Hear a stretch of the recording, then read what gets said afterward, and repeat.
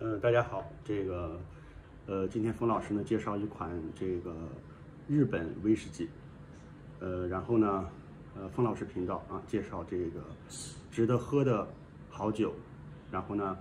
呃，介绍跟酒有关的文化啊，让你呢会喝酒，然后懂酒，然后还有文化啊。好，这个今天这款酒呢，嗯、我先不说啊，嘿，但是大家看到了啊，是清景泽是吧？这个如果你还爱喝威士忌的话，我相信呢，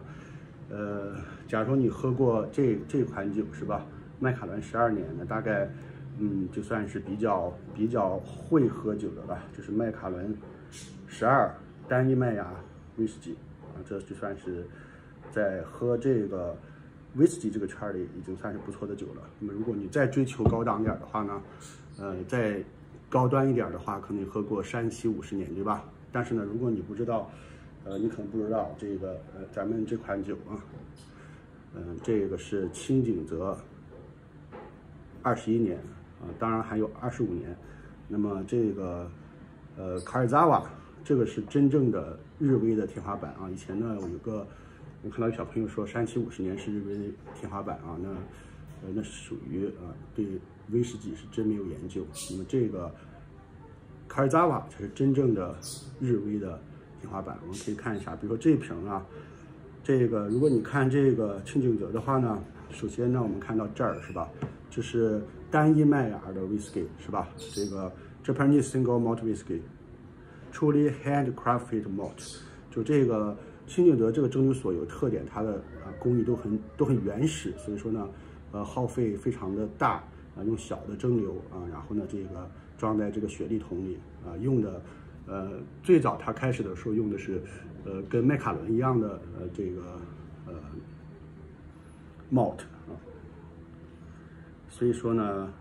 呃 k a r i z a w a Distiller Distiller，那么它这里边有什么呢？写的这个号六千七百八十五号，意思什么呢？这是清景泽所酿造的第六千七百八十五桶酒。那么清景泽酿了没多少酒呀？呃，为什么呢？这就要讲讲这个文化了啊。除了这个酒之外，要讲文化。那么这是一九九九年灌装的，一九九九年酿造的，一九九九年酿造的。这个，但是呢，它是二零二一年灌装的，也就是说它在桶里待了二十一年，所以啊，一旦这个威士忌装瓶之后呢，它就不再发生变化了啊，品质不会再变好了。所以说呢，装瓶的那天，那么这个是在日本东京装瓶的，那么这一桶是，那么这一桶呢一共是七百零八，装了七百零八瓶啊，这一桶酒，然后这是这里边的第四百三十一瓶啊，这个，呃，所以呢。酒精度是百分之四十三，那么是雪莉桶啊，雪莉桶，因为清景泽应该是只用雪莉桶，我我不认为他用过别的桶，所以清景泽是一九五五年开始酿这个 whisky 的，这个是世界一流的 whisky 啊，那么这个地址啊，这个好吧，我们来介绍一下清景泽这个酿蒸馏所吧，清景泽蒸馏所是这个呃一个传奇，那么它。这个蒸馏所呢是在长野县浅间山的山脚下，在那儿成立的。那么浅间山呢是一个活火山呀，啊，所以说呢，从这个清景泽建厂开始建立这个蒸馏所开始呢，啊，他就哎这个建立在一个活火山的脚下，所以说什么时候这爆发也不一定，这比较呃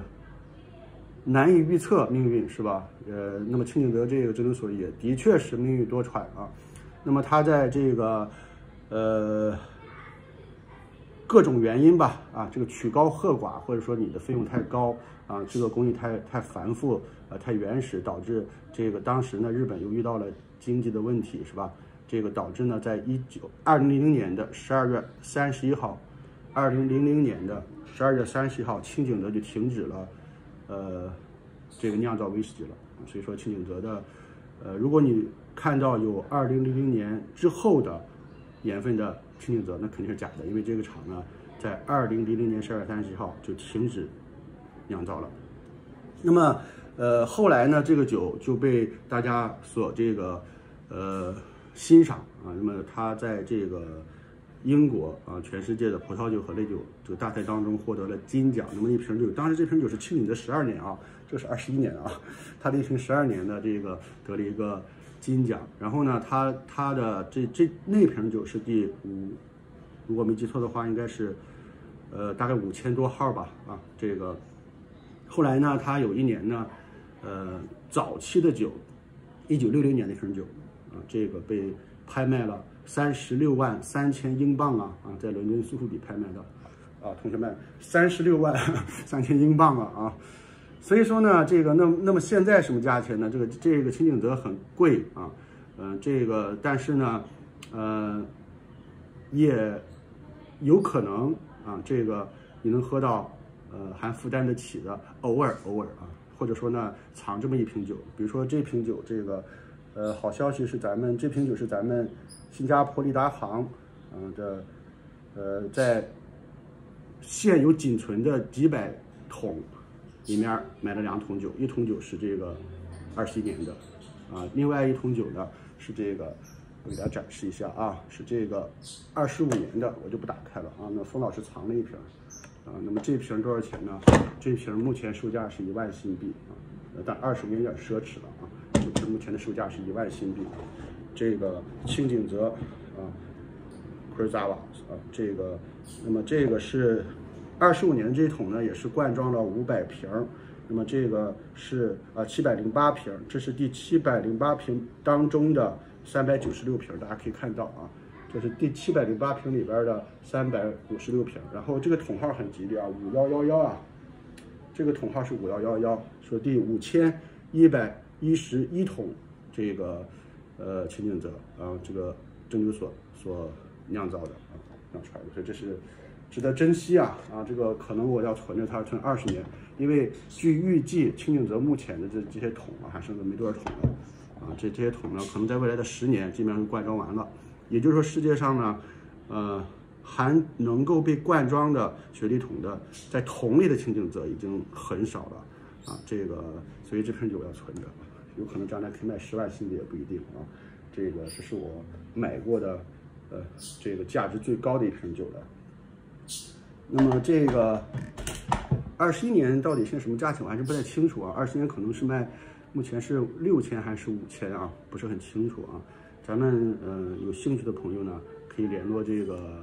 利达行啊。我们非常的有福气，在新加坡的威士忌爱好者，因为呢，呃，利达行这个呃大手笔的啊，从这个现存的几百。桶里边买了一桶二十年的，买了一桶二十五年的，然后呢，在日本灌装，然后现在全部啊这一千瓶，呃七百零八瓶乘以二，呃一千四百一十六瓶酒啊是在新加坡，那么已经销售了一部分了。这个它的好处是这个，呃这个酒，呃除了喝，啊它是投资啊，算是个投资吧。好，今天介绍到这里啊。这个大家可以搜索一下新加坡利达行，这个是呃利达行所所呃，我相信是第一次呃整桶从日本进口这个清景泽的。好，拜拜。冯老师频道介绍好酒啊，然后呢，让你既懂酒啊，会品酒，然后呃有有点酒文化。拜拜，请订阅冯老师酒馆频道，我还有国学内容啊，其他内容接拍啊。